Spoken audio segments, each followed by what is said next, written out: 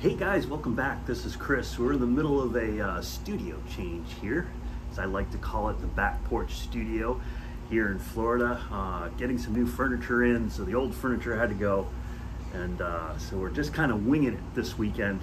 But uh, I'm going to show you some of the books that I picked up this week at my local comic shop. Really quick video this week, only three books. Uh, two of them were uh, impulse buys, but we'll start it off with Daredevil. Daredevil number 11 came out this week. Nothing but good things I've heard about this series. So I've kept up with it. Daredevil number 11. Very cool. And then this week, Spider-Man 2099 Dark Genesis came out, issue number two. And it's the first introduction of Blade 2099.